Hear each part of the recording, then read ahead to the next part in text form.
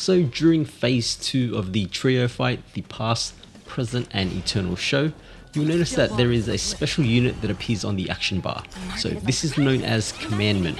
And here under the enemy ability, Enact Heed Thy Command, it states that whenever Commandment takes action, the enemy will unleash Dance for Synchrony. However, whenever an enemy is weakness broken, Commandment will then suffer a slight action delay.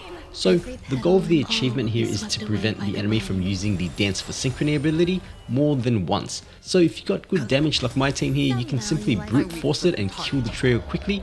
Otherwise, you should be focusing on weakness breaking in order to delay the commandment's action.